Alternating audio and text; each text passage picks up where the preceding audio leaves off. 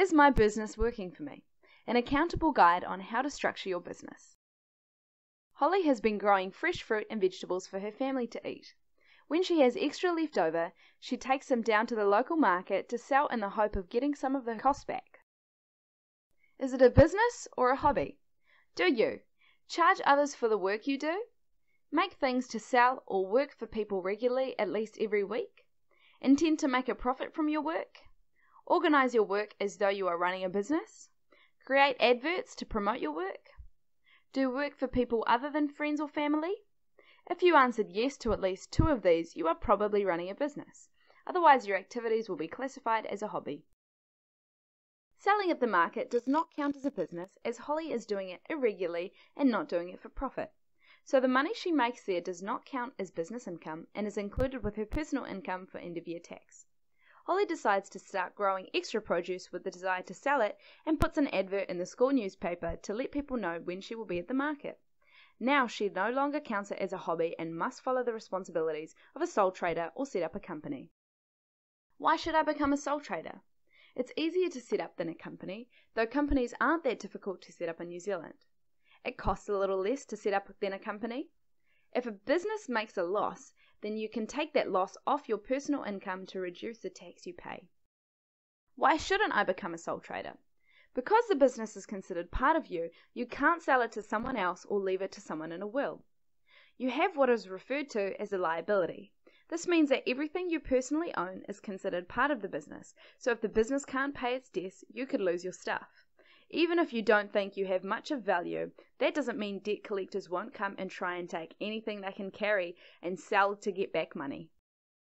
After learning what is required to be a sole trader, Holly decides to talk to her father Steve to see if he is considered making a company himself.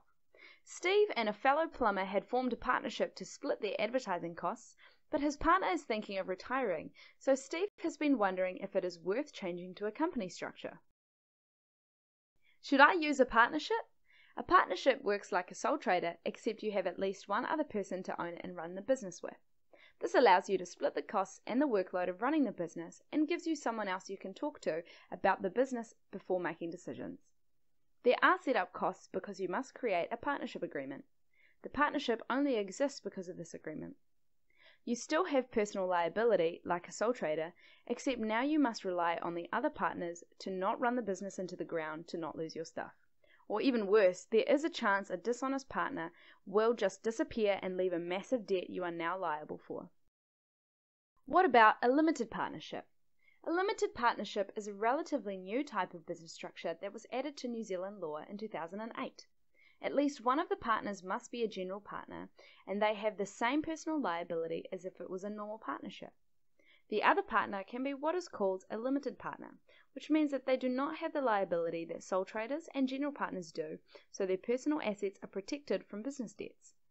These partners can provide financing to the partnership, but cannot take part in management decisions or else they will become general partners too. After talking to Holly, Steve realizes just how much risk there is to the family home without some sort of insurance or mortgage protection, so he decides to look into whether a company suits his situation better. Why should I form a company? The owners of a company, known as shareholders, are separate from the business and are not liable for the business debts if it fails. All you lose is the value of the shares you had in the company and any money you owe the company, such as unpaid shares and drawings. Ownership of a company can be transferred to someone else by selling them the shares or by transferring the shares to them in a will. Why shouldn't I form a company? It requires some understanding to set one up and requires extra record keeping for financial statements. There are some expenses required for compliance costs or for paying for help with setting one up and record keeping. Your company must have someone in charge, known as a director, who has obligations to run the business in an appropriate manner, which is known as acting in good faith. Trading when you already can't afford to pay your debts can make you liable as a director. Shareholders can also be held to directors' liabilities if they do not monitor the directors or are given powers that would normally only be used by a director. After thinking about this, Steve decides the responsible thing to do is form a company. That way he can make sure the family home is protected from the ups and downs of his business.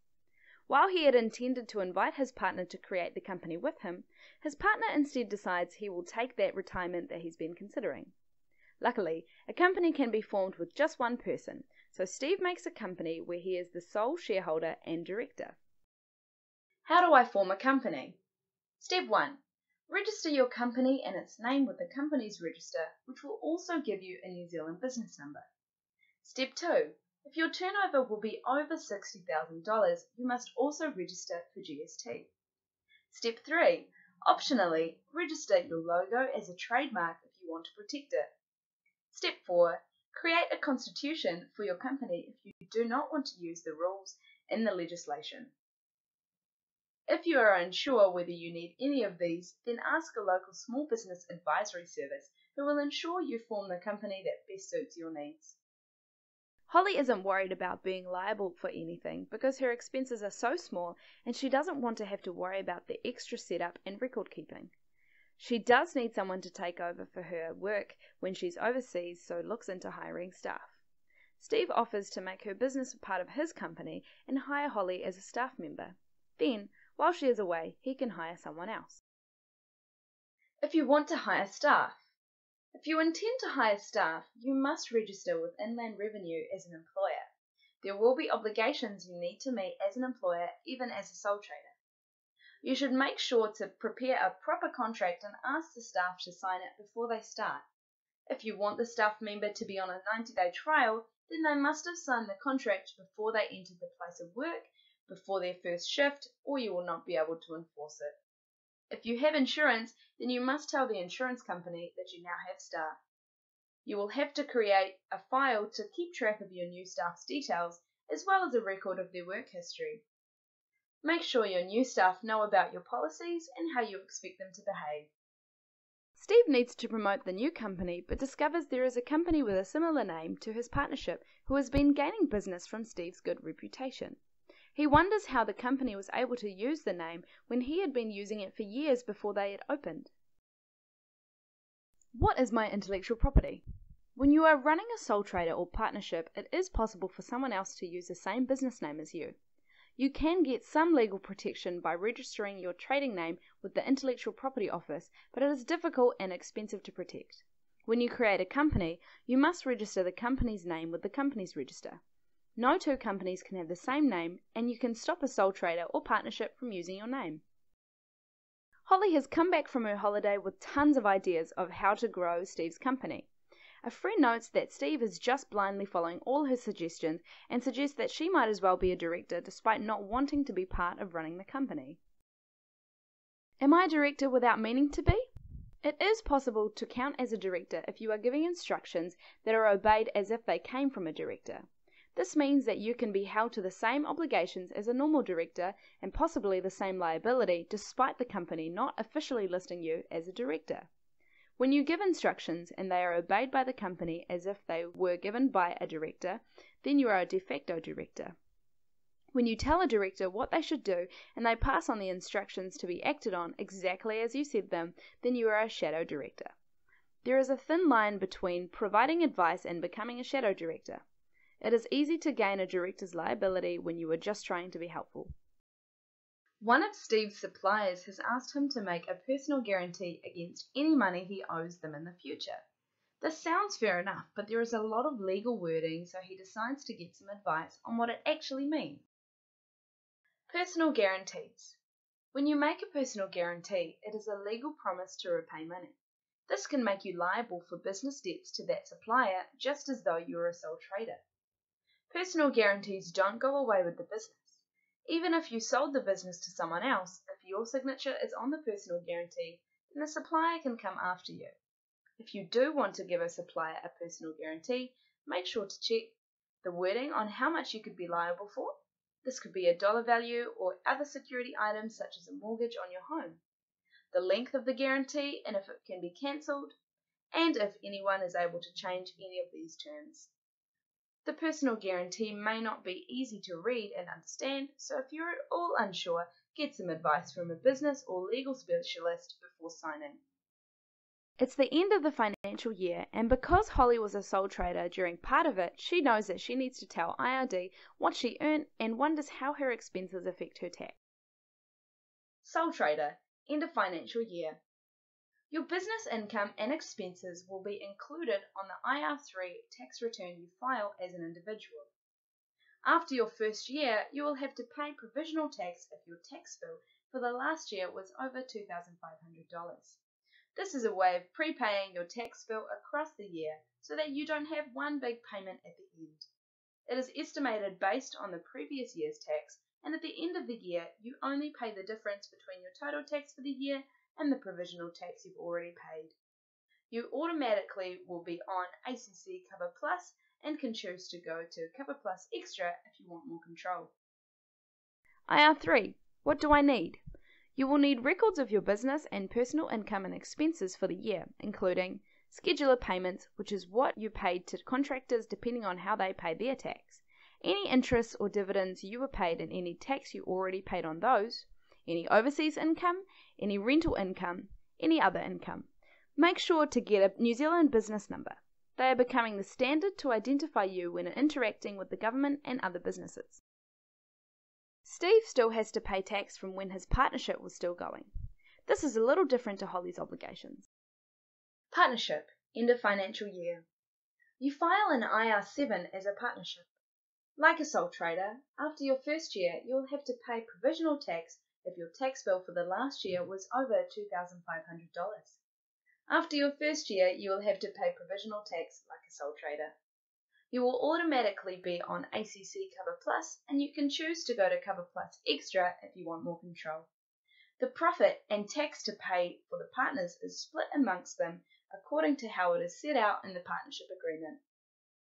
IR7 Just like a sole trader, you will need records of your business and personal income and expenses for the year, including schedular payments, which is what you pay to contractors depending on how they pay their tax, any interest or dividends you were paid, and any tax you already paid on those, any overseas income, any rental income, and any other income. Just like a sole trader, make sure to get a New Zealand business number. These are becoming the standard number to identify you when interacting with the government and other businesses. Now Steve has a company that has different end of year obligations. Company, end of financial year. File your financial statements after the end of the financial year. If your revenue and expenses for the year are less than $30,000, you don't have to prepare financial statements. File an IR4 tax return by the 7th of July, assuming you're using the 31st of March as the date for the end of the financial year. If you have an IRD approved tax agent, you have much longer to file your tax return, up to the 31st of March the following year if that is the date of your end of the financial year, though a good tax agent will file it much quicker than that. IR4 What do I need? You will need records of your business and personal income and expenses for the year, including any interest or dividends you were paid and any tax you already paid on those, any business, rental, or other income, any tax credits, any allowable deductions, and any previous losses that you can bring forward. Steve thinks of a way to avoid paying as much tax. He could have the business pay for a vehicle rather than buy it himself. That way, he can use it to reduce business tax and he doesn't have to pay income tax on the money himself. Fringe benefit tax. When an employee receives a benefit from his employer that is not cash, it is called a fringe benefit.